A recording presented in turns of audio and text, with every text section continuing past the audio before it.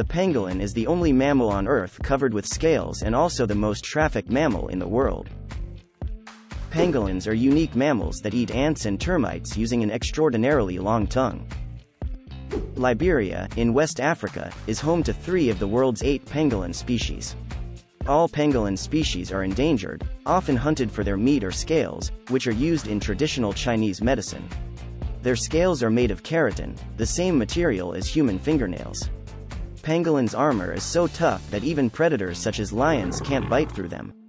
When threatened, pangolins roll into a ball like an armadillo. This helps them shield their stomach and face, which aren't covered in protective scales. From this position, pangolins release a stinky fluid from a gland at the base of their spiky tails to keep predators away.